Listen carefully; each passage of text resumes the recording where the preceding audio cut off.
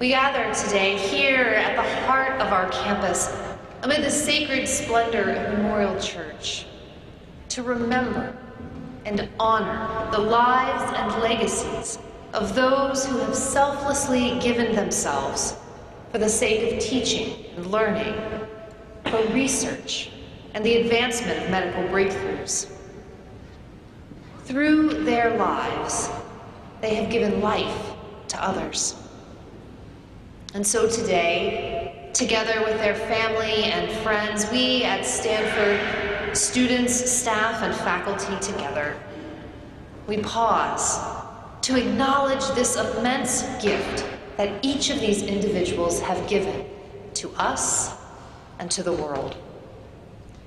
Through music, testimonies, and reflections, we come this day to pay tribute to our donors, offering our gratitude as we remember, honor, and celebrate their lives. So come, let us be together.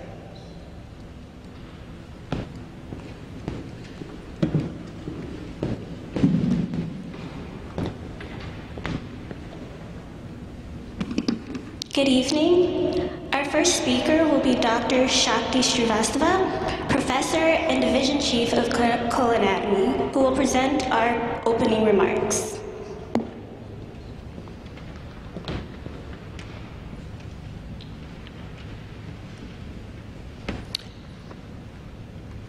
Dear friends, let me add my words of welcome to this inaugural anatomical gift program memorial service. We are gathered here today to pay tribute and to, and to celebrate the invaluable contributions of our donors to our institution's educational mission. The generosity of our community members in electing to become donors to the anatomical gift program is singularly the most important factor in enriching the educational journey of our future healthcare providers. The Anatomical Gift Program establishes the foundation for all our courses in the Division of Clinical Anatomy and has existed as a core program for over 75 years.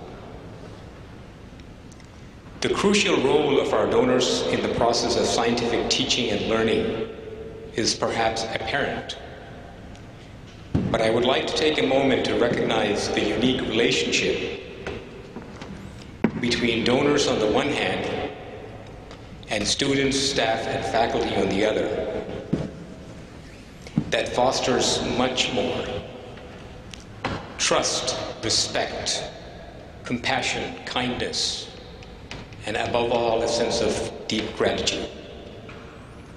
All of these translate to the clinical setting in future years with patients. The development of this holistic professionalism is something that I have experienced as part of my journey in medicine of nearly four decades. And I am indebted to the countless donors and patients who have entrusted me with their care. Ultimately, healthcare is a human to human interaction like no other. While we are all aware that we have a common final destination for our life journey, the passing of a loved one always elicits grief and a sense of loss. For all those gathered today who knew a family member or loved one that was, don- that was a donor to our program,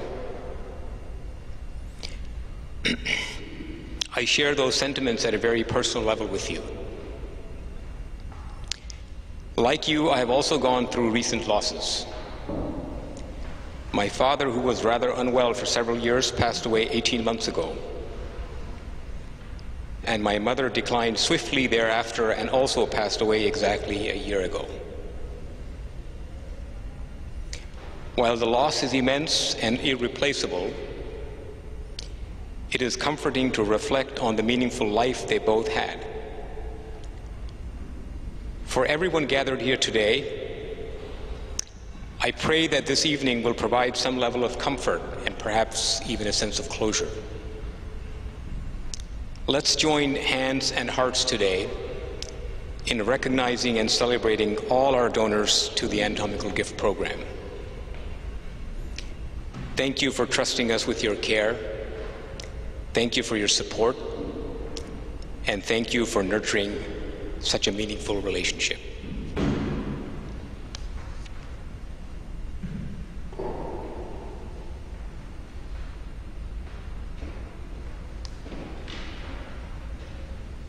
Dr. James Korndorffer, Professor of Surgery and Vice Chair of Education, will now share his words of appreciation.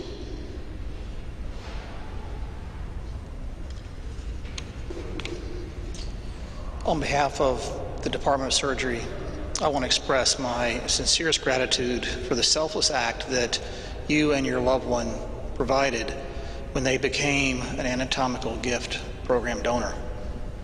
Uh, as a practicing clinician and educator, I can assure you that that gift went much beyond simply teaching anatomy. Your loved ones really were the learner's first patients. Know, and through that experience, the learners learn those critical traits of digni- dig- showing dignity, showing respect, and showing compassion for those patients. They also began to develop that professional identity that they're going to carry with them as a physician through the rest of their lives. And these are the traits that those students will carry forward when treating all of the patients that they see as they move through their clinical years. So your donations have helped all future patients of those trainees. And I and those future patients are immensely grateful to you and your loved one. Thank you.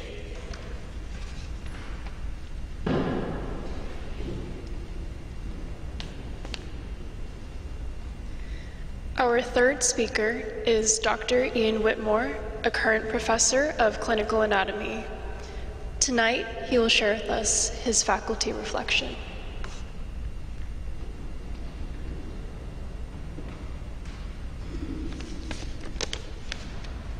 Thank you. I'm honored to be here um, in many ways, but perhaps most obviously because, as you can see from uh, my age, I have been teaching anatomy for a very long time.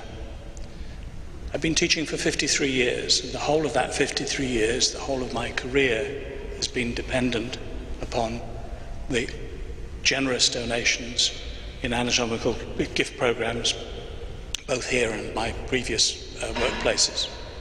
So it has been a lifestyle for me to be looking at that. I've seen wonder in students' eyes as they begin to understand how the anatomy goes together. Uh, I've seen the delight uh, in their appreciation of the really beautiful aspects of anatomy that exist as well. And I've seen their acknowledgement of, the, the, of, of their first patient and their acknowledgement of their first brush often with death. All of these aspects are so important in, I think, learning anatomy, and they all, uh, as Dr. Korndorffer suggested, continue on throughout their careers.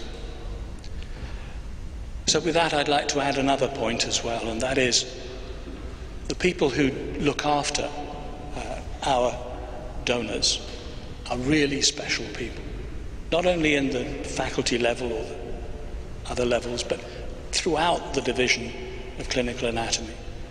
They put so much effort into making sure that our donors are not only respected but understood and well looked after. And I find that a really satisfying, uplifting way of working with people of that variety. So I'm grateful to the fact that they look after your loved ones in the way that I think is not only appropriate but is wonderful. And with that, I really have not much more to add because my colleagues have said much of what I think I would add. I'm grateful, personally. I'm grateful on behalf of the division. I'm grateful on behalf of Stanford. Thank you all very much.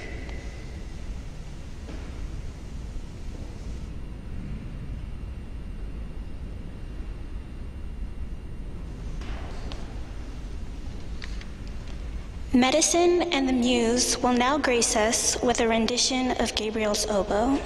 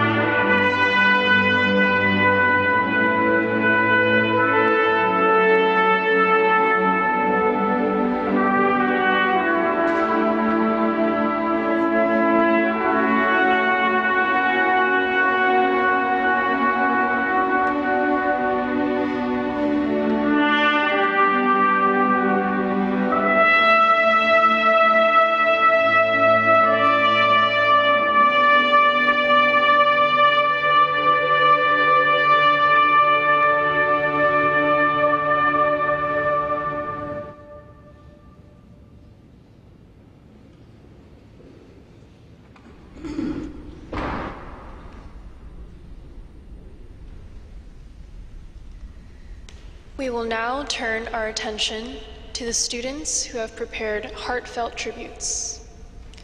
Our first student, Noor Zanyal, will present a tribute titled Through Their Hands.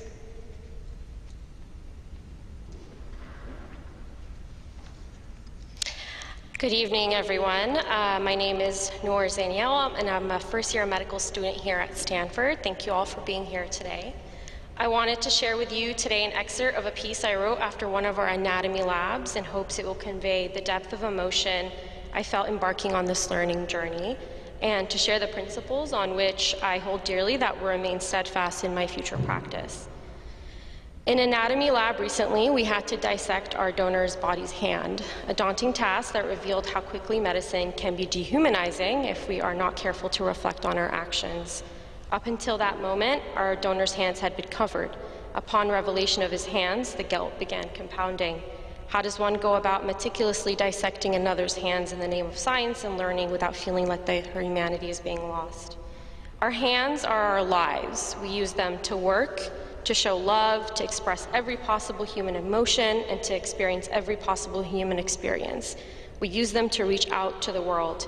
Those hands were once held by his loved ones as he entered the world and were held once more as he passed on to the next life. What did his hands represent in his life? What job did he work? Whose hands held his for most of his life? Did he use them to pray, plant a fruitful garden, clap for the achievements of his loved ones, or cup his face in sorrows at life's struggles? If his hands could speak, they would tell the tale of a long life that our donor lived, all his joy, sorrow, success, failure, and love. It felt violent to reduce his hands to an exploratory piece for our knowledge. We are only given the right to learn because of our donor's generous contribution to science and to our learning. I hope that there was at least one physician who held our donor's hands towards the end of his life. And it wasn't just to check his pulse to confirm his passing, but a meaningful gesture to help our donor as he confronted the reality of death alongside his family. As we hold our donor's hands to learn the intricacy of the human body, we hope that one day we can hold other patients' hands to give them the encouragement to heal, to congratulate them with good news, to comfort them when they receive bad news, or to help them pass on. Our hands are how we hold on to each other, and as future physicians, we must always hold on to the hands of our patients to remember our own humanity and theirs. Our education would not be complete without the immense privilege our donors have granted us. And, I, and so I say this to our generous donors, your contribution to our learning is the reason why we are going to become great physicians. You're the reason why we will be able to heal thousands of people for generations to come. Thank you, and may your souls rest in peace. To the families of our generous donors, I cannot begin to imagine how difficult this, this must be to have to wait to lay your loved ones to rest. There's not much I can say to assuage those emotions, but I would like to express the sincerest gratitude that my classmates and I feel for the learning opportunity that your graciousness has granted us. We are indebted to you. And lastly, to my classmates, the future physicians, I implore you to always reflect on this experience and to take it with you in every moment of your practice as a physician. All the people that will cross your, our path in medicine deserve our undivided attention and respect, whether they continue to live or pass on. Let us remember the generous sacrifice our donors have made for our learning. We owe it to them to become compassionate physicians.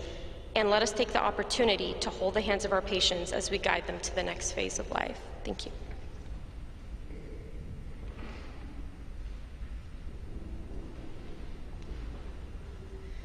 Our next performance is a heartfelt musical tribute of In My Life by Madison Palmer and Sabrina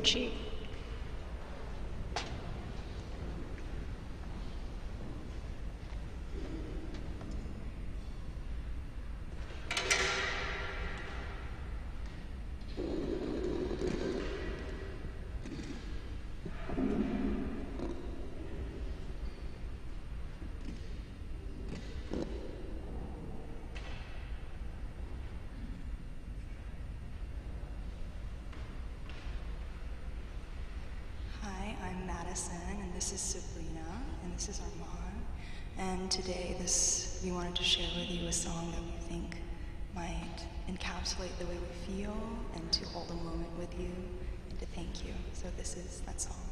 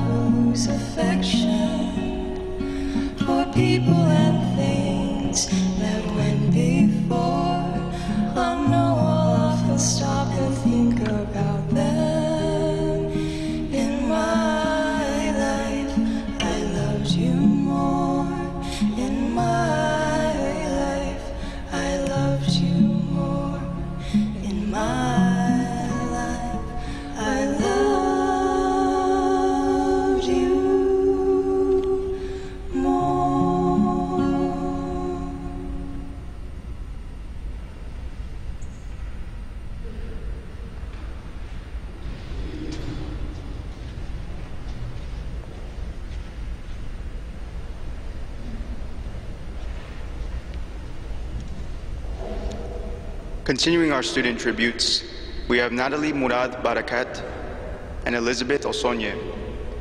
They will share reflections on the experiences and lessons learned through their engagement with the Anatomical Gift Program. Please welcome Natalie Murad Barakat and Elizabeth Osonye.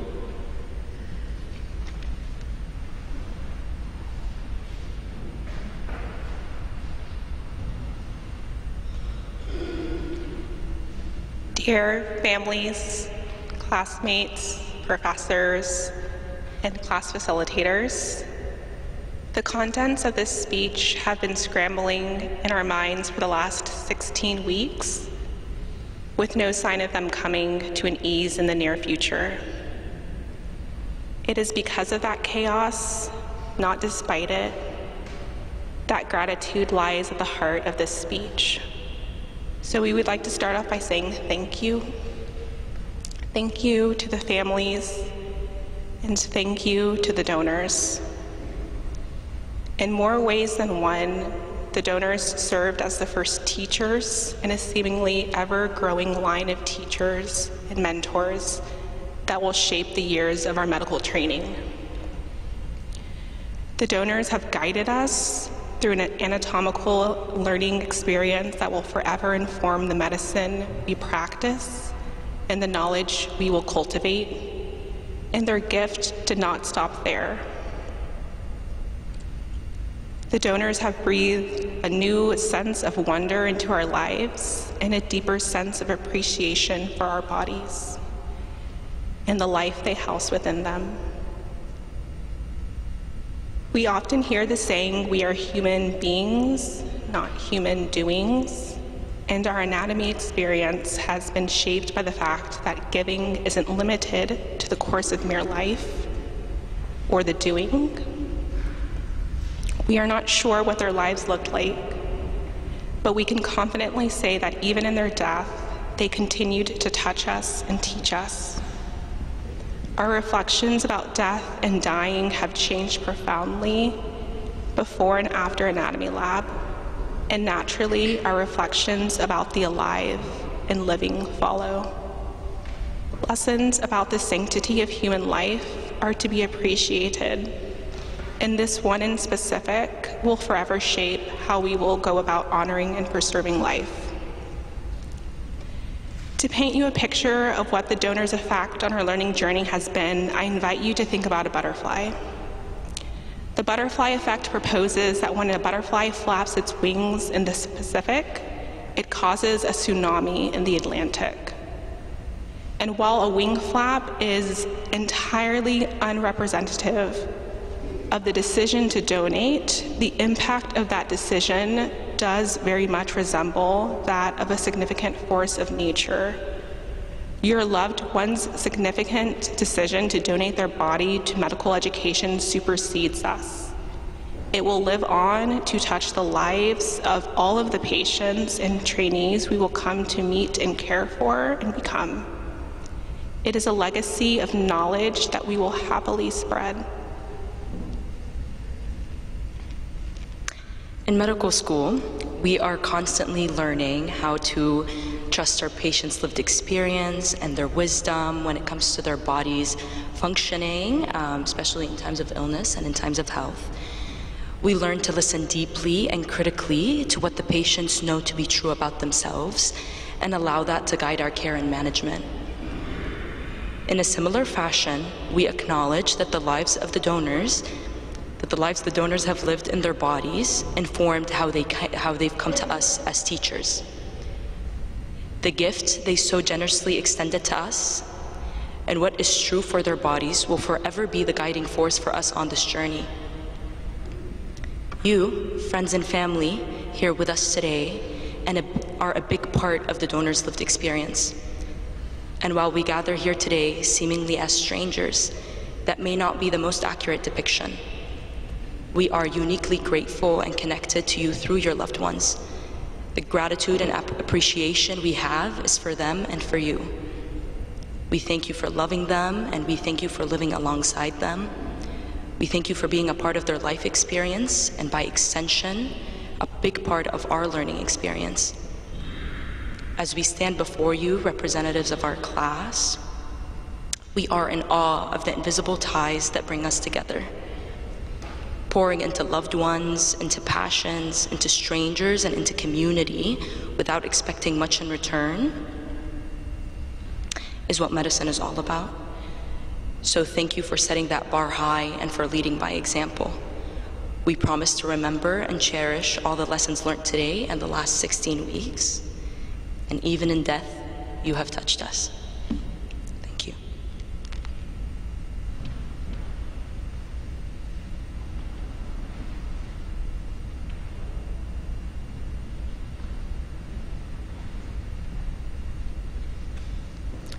For our final student tribute, we have another wonderful performance performed by Laura Chang, Emily Yang, and Chibuike Wakwe, who will be performing Salut d'Amour.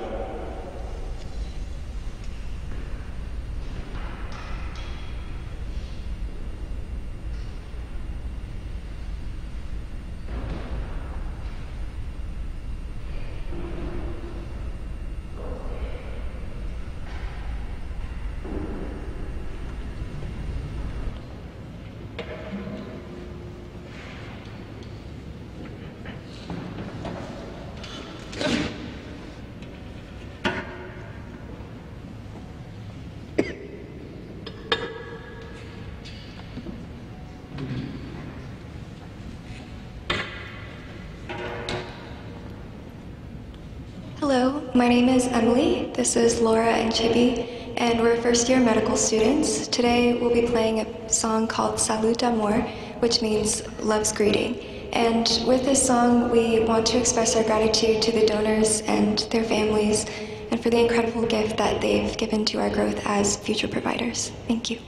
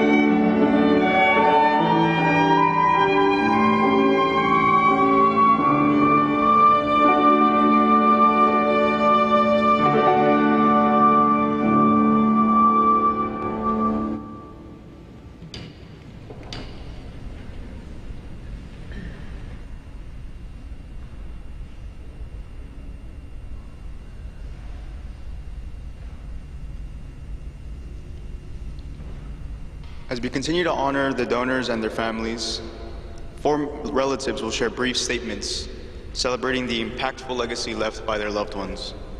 Let us warmly welcome our first speaker, Cynthia Wayne.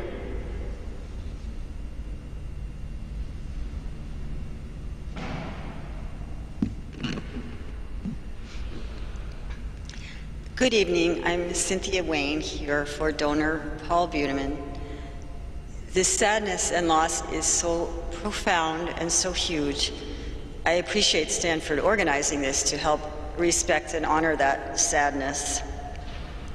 And so that the relatives overseas can be part of this, even though it's the middle of the night for them.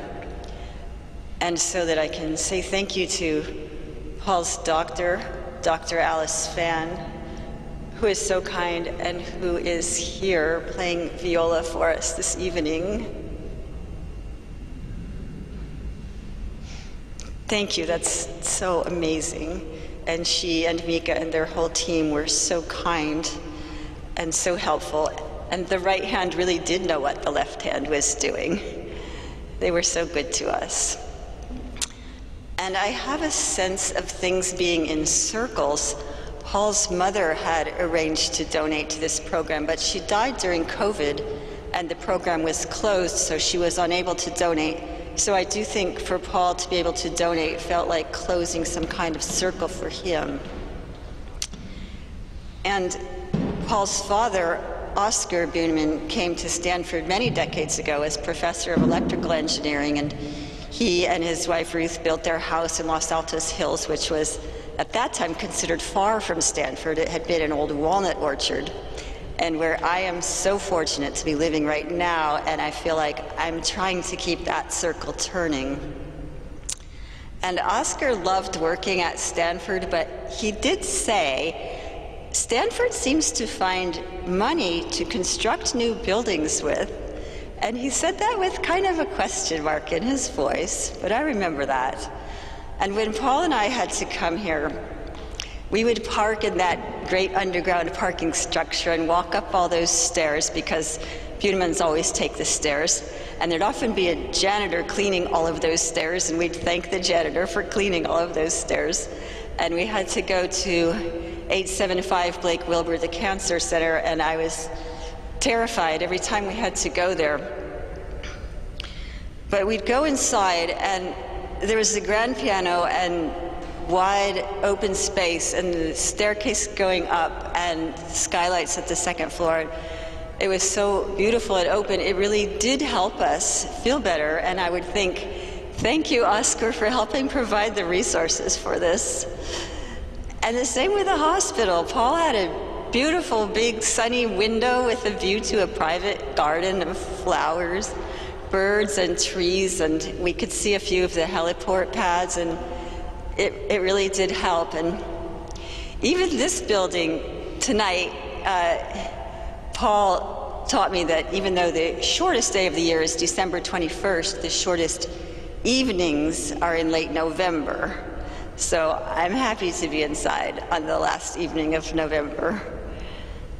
And Paul, such a lovely spirit in his heart, in his mind, in his form, in his good judgment, in his unique perspectives. And the best times of my life were when Paul and I would go to the mountains in Oregon and go off on some trail into the wilderness, and it would be just the two of us. We wouldn't see another person all day, and it would just be the two of us out in nature. And the thought of him not coming back is really more than I can comprehend. Being with him for 40 years is the greatest privilege of my life. And I appreciate hearing from the faculty and the others here. It helps, and I, I thank all of you for helping. Good night.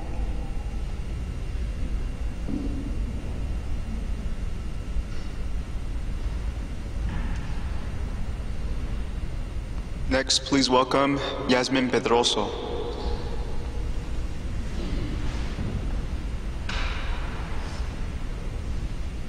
Good evening.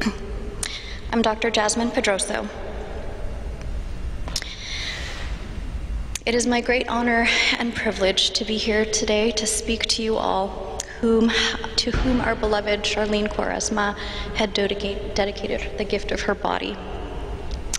About 18 years ago, I was in your shoes, medical students, as a second year medical student at UCLA, attending a memorial just like this to honor those who gifted their bodies to our learning.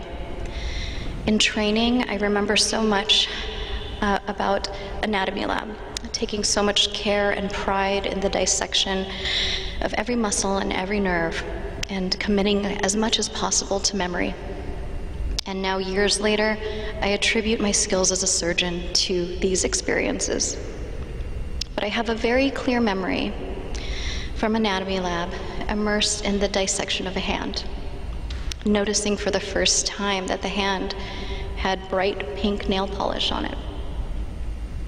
I remember suddenly wondering how vibrant and fun and feminine this woman must have been when she was alive. And it was then that I realized, as I was so focused on my own learning, that I never really thought too much about the person behind the body. So, lest you forget the life of the body in front of you, let me tell you about my mother in law, my soulmate, Charlene, who gave her body to you all. Charlene grew up on a sugarcane plantation in Hawaii.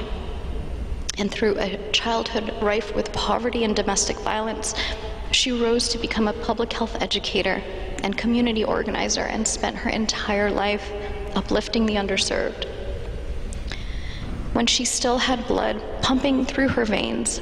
She ran countless marathons and triathlons. She danced hula. She ran after her grandchildren. When there was still warmth in her hands, she cooked amazing Filipino meals for us and created beautiful works of art. When her heart was still beating, she still she gave us so much love and light to those all around her. And when her heart stopped beating, she left you all with the gift of her body that lived an incredibly beautiful life. So take what you have learned from her body as you go forth in your careers, and remember your duty to honor and remember those who gave this gift to you.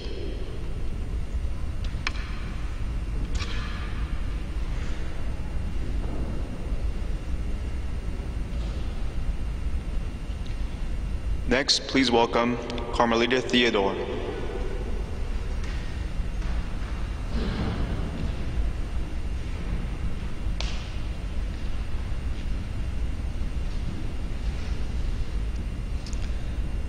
Good evening. Um, my name is Lita Theodore. My husband of 39 years was Malvern John Theodore, who was the donor. Mal was a faithful man of God who shared his love of the Lord with whomever would, that he met. His easygoing, fun loving personality was infectious. He was a brilliant pianist, drummer, a composer, an encyclopedic with an encyclopedic knowledge of jazz. He was an avid lifelong learner who could extemporate about many subjects with a level of depth and understanding that left us all in awe. He could have been a rocket scientist, a computer programmer, a mathematician, a cosmetologist. His nickname was the Professor, for a very good reason. Beyond his brilliance, his dedication to work and family was his beautiful heart and his beautiful smile. He loved us all we loved him as well, and we miss him dearly. When Mal was originally diagnosed with stage 4 prostate cancer 10 plus years ago, we left Stanford Cancer Center with, a very, with very little options or protocols for him, and the outcome sounded very slim.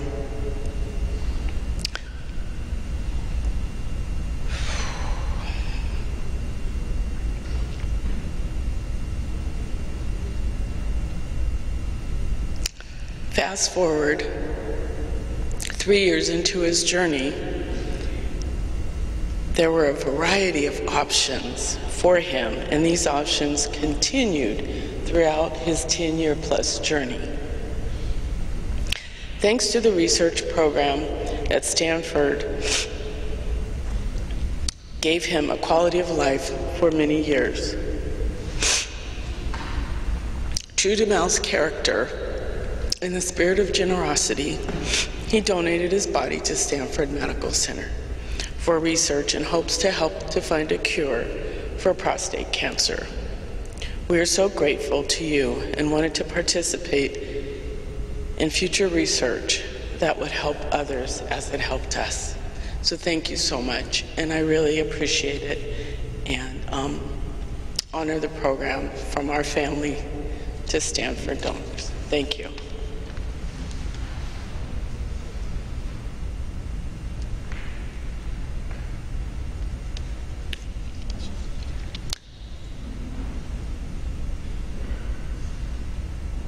Our final reflection is by Ma Kemon Ai, who is present in the audience today.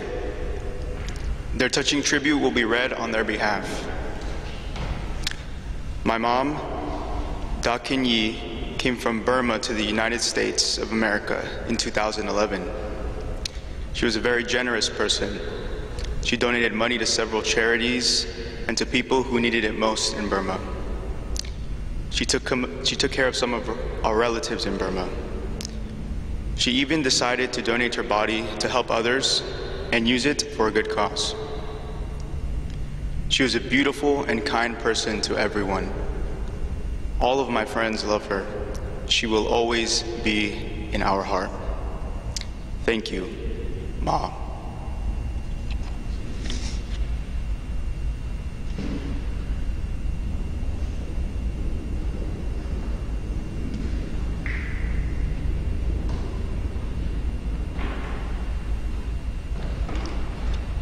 Through these touching testimonies, we know now deep in our bones that it is true that healthcare is at its core a human to human endeavor, isn't it?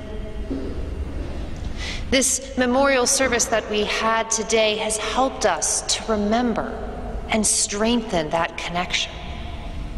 That in our great loss, we are able to find new life and new hope through the generous and selfless gifts of our donors.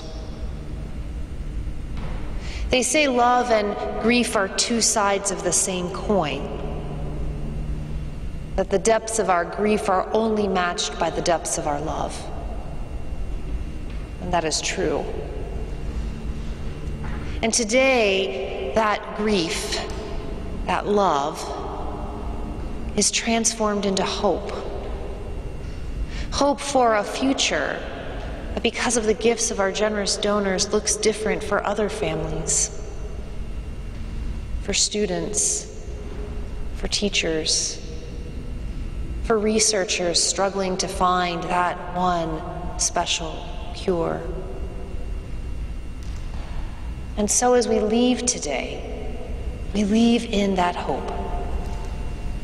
And I offer you these words from poet and theologian Jan Richardson. It is called Blessing of Hope. So may we know this day the hope that is not just for someday, but for this day, here, now, in this moment that opens to us. Hope not made of wishes, but of substance. Hope made of sinew and muscle and bone. Hope that has breath and a beating heart. Hope that knows how to sing when there seems little cause. Hope that raises us from the dead, not someday but this day, again and again and again. Friends, we have seen that hope. a hope that raises us again and again and again, hope made of sinew and muscle and bone. As you came in this evening, each of you may have picked up an ornament, a dove made of paper, and if you look carefully in it, there are seeds. I invite you to take it home, and if you have not taken one on your way out, please grab one. Hang it in your home. And as you look at it each day, offer it a blessing of hope. Receive that blessing of hope from the gift of the donor, from the memory and celebration today. And allow that blessing of hope to sit with you. And when you feel the time has come, I invite you to give that blessing of hope back to the earth. Because if you take that ornament and you plant it, it will blossom and bloom, for there are seeds inside. You see, there is hope. Hope not someday, but this day. So may you go forth this night in that hope, embodied by our donors and known in this community gathered here. Hope not for someday, but this day. Hope that raises us all again and again and again. May you go in peace. The service has ended.